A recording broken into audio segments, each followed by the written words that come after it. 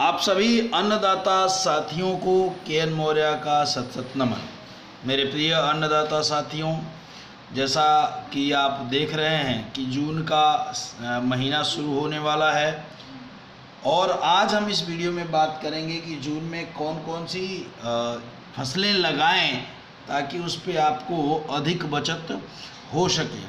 उससे पहले मैं आपसे यह उम्मीद करता हूँ कि जून में अमूमन जितनी भी फ़सलें लगाते हैं, लगभग बारिश की फ़सलें लगाते हैं तो इसके लिए आप सभी लोग ये तैयारी ज़रूर रखिए कि जून में हम जो भी फ़सल लगाएँगे, उसे मेड़ पे लगाएँगे और पानी निकासी की अच्छी व्यवस्था भी करेंगे। ये कॉमन बातें हैं जिसको हमारे किसानों को ध्यान देना चाहिए।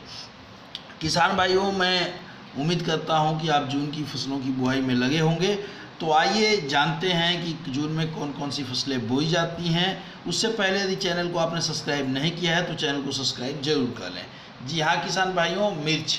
मिर्च का जैसा कि आप देख रहे हैं, किसान भाइयों, मिर्च की खेती हमारे जून में मध्य प्रदेश हो गया, और ये आपका और भी बहुत सारे जगह हैं, जहाँ मिर्च की बड़ी पैमाने पे खेती इस समय लगाई जाती है। किसान भाइयों, मित्र की खेती करते समय बहुत सारे किसानों की शिकायत आती है कि मिर्च में जड़ गलन की समस्या बहुत आती है। उस समस्या के समाधान के लिए प्रति दो एकड़ आप अपने खेतों में रूट गार्ड का प्रयोग करें। यह एक फंगल, फंगस की दवा है जो जड़ जनित बीमारियों को दूर करती है। तो इसका प्रयोग खेत की अंतिम जुताई करते समय ज़रूर करें, जिससे आपको जड़ गलन की समस्याओं पे काफ़ी कंट्रोल मिलेगा। मिर्च में रोग रोधी वैरायटी का चयन करें। रोग रोधी वैरायटियाँ मार्केट में मौजूद हैं तो रोग रोधी वैरायटी का चयन करें और इसे भी पानी निकासी की समुचित व्यवस्था करने के बाद ही लगाएँ। किसान भाइयों, मिर्च लगाते समय नीम के तेल का प्रयोग, नीम का तेल का स्टोर अपने पास ज़रूर करें, जिसे आप अमावस्या और पूर्णिमा के एक दिन बाद अपने फ़सलों पे स्प्रे करना शुरू करें। इससे क्या होगा कि आपके मिर्च में जो रोग आते हैं, वो उनका रोग धीरे धीरे कम होगा। प्रयास ये करें कि अधिकांशतः जैविक प्रोडक्टों का प्रयोग करें खेतों में। दूसरी फ़सल की बात करें तो वह है खीरा। खीरा की बड़े पैमाने पे खेती होगी हमारे जून महीने में बारिश वाले खीरे बड़े तेज़ी से लगाए जाएँगे। इसको लगाने के लिए भी मचान विधि का प्रयोग करें। हाइब्रिड बीज का चयन यदि आप करते हैं तो हाइब्रिड बीजों में उत्पादन आपका ज़्यादा होता है। आप चाहें तो देसी बीज भी अपने यहाँ लगा सकते हैं। यदि आप घर का बीज लगा रहे हैं तो प्रयास ये करिए कि उसका ट्रीटमेंट ज़रूर करें। ट्रीटमेंट करने के बाद ही इसे लगाएँ और इसे लगाने के बाद आपको निश्चित रूप से जो है मचान की व्यवस्था करनी पड़ेगी। बिना मचान के यदि आपने इसे लगाया तो नुकसान हो सकता है। पानी निकासी की उचित व्यवस्था इसमें भी करनी है और खेत की तैयारी करते समय खेत में फंगिसाइड पाउडर जो फंगीसाइड पाउडर हो इसमें थोड़ा सा रूट की प्रॉब्लम कम आती है तो फंगीसाइड पाउडर डाल करके खेत की जुतियाई बढ़िया से कर लें। इसके बाद हम बात करते हैं टमाटर की।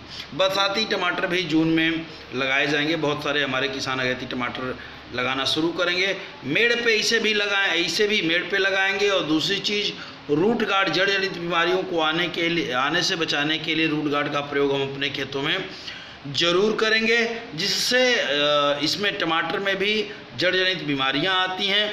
और अपने पास यदि आप जून में लगाएँगे तो सिलिका बेस्ड प्रोडक्ट, जिसमें आर्थोसिलेसिक एसिड, जो स्प्रे करने के बाद आर्थोसिलेसिक एसिड के रूप में मिलता है उसका प्रबंध ज़रूर करें ताकि गर्मी से जो गर्मी पड़ती है, उसके कारण आपके पौधे खराब ना हो। यदि ये करते हैं तो आपको बढ़िया फ़ायदा हो सकता है। इसके अलावा हम बात करेंगे करेले की खेती के बारे में। करेले का रेट लगभग ठीक ठाक रहता है। इसमें दो तीन चीज़ें ध्यान देने वाली बातें। यदि आपके खेत में एक बीमारी आती है जिसे हम जिसे हम नीमाटोड कहते हैं नीमाटोड नाम की बीमारी यदि आपके खेत में आती हो तो करेला बोने से पहले खेत की तैयारी करते समय नीम की खली, नीमाटोड बीमारी की पहचान ये होती है करेला आपका जड़ से सूखना शुरू करता है और जड़ें उखाड़ के आप देखते हैं तो उसमें छोटी छोटी गांठें पाई जाती हैं। उस पर कोई बहुत सारी दवा फंगस की किसान डालता है लेकिन वो कंट्रोल नहीं होता है। तो उसके लिए खेत की जुताई करते समय ही नीम की खली नीम का तेल या फिर कुछ भी ना मिले तो नीम की अधिकाधिक पत्तियाँ अपने खेतों में डाल करके जुताई करें। तो धीरे धीरे धीरे धीरे आपका निमाटोड कंट्रोल होगा और इसमें बैक्टीरियल प्रोडक्ट ज़रूर डालें जो बेनिफिशियल बैक्टीरिया होता है। इसके बाद हम बात करें तो जून में हमारे मचान वाली लौकी बोई जाएगी। लौकी की खेती भी आपको बढ़िया पैसा दे सकती है। क्योंकि लॉकडाउन के दौरान हमारे किसानों को, के फ़सलों का रेट नहीं मिल पाया। अब लॉकडाउन खुल रहा है धीरे धीरे छूट दी जा रही है तो इसकी खेती भी आप कर सकते हैं। इसके साथ साथ कद्दू और पेठा पेठा की भी खेती आप कर सकते हैं, पेठा भी आप लगा सकते हैं। जिससे, जिसका बनता है, मिठाई बनाने के काम में आता है, और भी बहुत सारी उपयोग है उसके तो उसको भी आप क्यारियों पे लगा सकते हैं आप चाहें तो या उसे ऐसे भी लगा सकते हैं, कोई दिक्कत नहीं। इसके बाद हम बात करेंगे नेनुआ, जिसे आप देख सकते हैं इसे अन्य भाषाओं में तो अलग अलग जगह पे जो भी कहा जाता है, हमारे यहाँ पूर्वी उत्तर प्रदेश में नेनुआ कहा जाता है। तो नेनुआ की खेती भी आपको बढ़िया पैसा देगी, क्योंकि बारिश के समय इसका भी हम लोग खेती करते हैं तो ये बढ़िया देता है, बारिश में खूब चलता है और फिर बारिश में ये पसंद किया जाता है। मित्रों, इसके बाद पपीते की खेती। जून महीने में जिन लोगों ने अभी तक पपीता नहीं लगाया है, जून महीने में पपीते की खेती भी आप कर सकते हैं, पपीते की खेती करते समय। इसे एक तो बेड़ पे लगाया जाता है, आप सभी लोग जानते हैं।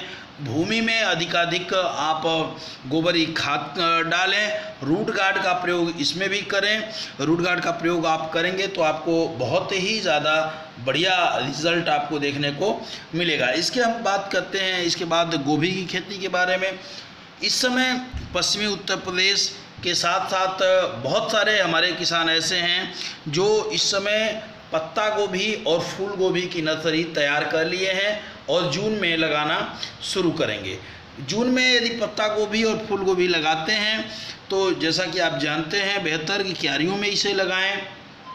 पानी निकासी की समुचित व्यवस्था करें। इसके साथ साथ सबसे बड़ी समस्या आएगी इसमें आ, आ, जो है इल्ली की गिडार आती है जिसे आप गिडार कहते हैं उसके लिए नीम के तेल का प्रबंधन करें। धूप में बहुत सारे केमिकल फेल हो जाते हैं यदि नीम का तेल आप शुरू से प्रयोग ये करेंगे अपने फ़सलों पे तो आप पाएँगे कि आपको उसके बेहतर परिणाम देखने को मिलेंगे। तो नीम के तेल से आप चाहें तो कंट्रोल कर सकते हैं। थोड़ा सा एडवांस हमें रहना पड़ेगा।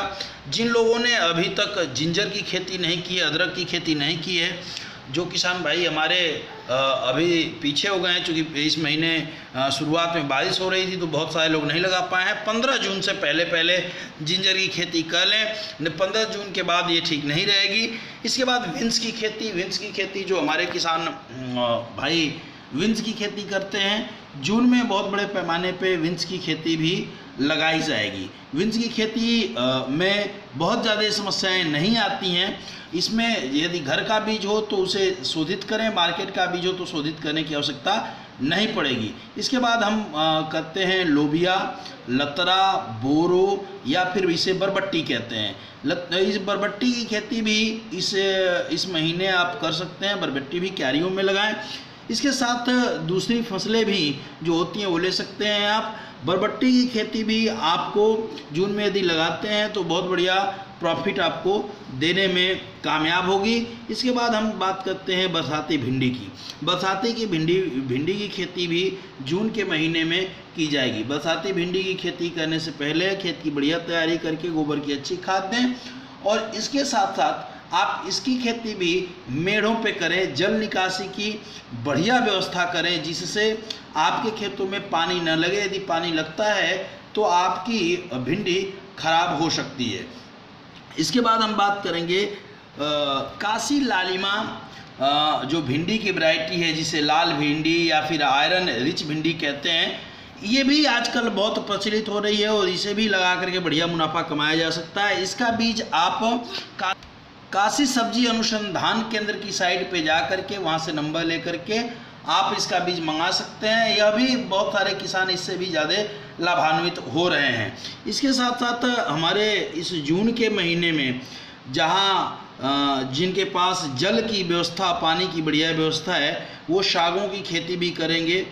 पालक चौराई भी इस महीने आप कर सकते हैं, लेकिन इसके लिए आपको पानी की व्यवस्था होनी ज़रूरी है, क्योंकि पानी की व्यवस्था न हो तो इसकी खेती न करें आप, नहीं तो नुकसान होगा। इसके साथ साथ हम इस समय की जाने वाली प्याज की खेती के बारे में बात करेंगे। इस समय जिन किसानों, जो किसान भाई प्याज की खेती करते हैं, प्याज की खेती करने के लिए भी यह महीना उचित है और हमारे किसान भाई इस महीने प्याज की खेती भी कर सकते हैं। प्याज की खेती भी आपको बढ़िया मुनाफा दे सकती है। प्याज की खेती में बैक्टीरियल प्रोडक्ट डालें जिसमें मिट्टी का भुरभुरापन होना बहुत ज़रूरी है। यदि बलुई दोमट मिट्टी में नीचे जमने वाली जो नीचे बैठती हैं वो फ़सलें बहुत ही अच्छी होती हैं। इसके साथ साथ हम बात करेंगे मूंगफली की खेती में। पूरे जून भर मूंगफली बड़े पैमाने पे लगाई जाती है और बहुत सारे किसान इससे बहुत ज़्यादा बेनिफिट लेते हैं। तो आप मूंगफली यदि खेती करना चाहते हैं तो मूंगफली भी इस महीने लगा सकते हैं। इसके बाद अधिक लाभ के लिए किसान भाइयों में बात करूँगा काले चावल के बारे में। काला चावल भी आप लगा सकते हैं। इसका बीज आपको डेढ़ सौ रुपये किलो के हिसाब से मिल जाएगा आराम से लेकिन इसे अपने खाने के लिए या फिर कुछ थोड़े से एरिया में लगाएँ किस क्योंकि इसकी मार्केट अभी अवेलेबल नहीं है। तो काफ़ी बड़े पैमाने पे इसे न लगाएँ और मित्रों ये वीडियो आपको कैसी लगी ये कमेंट बॉक्स में कमेंट करके ज़रूर बताइएगा। आपको कोई दिक्कत होती है तो आप हमें का, कॉल कर सकते हैं नंबर आपको मैं कमेंट बॉक्स में दे दूँगा। जय जवान जय किसान जय हिंद जय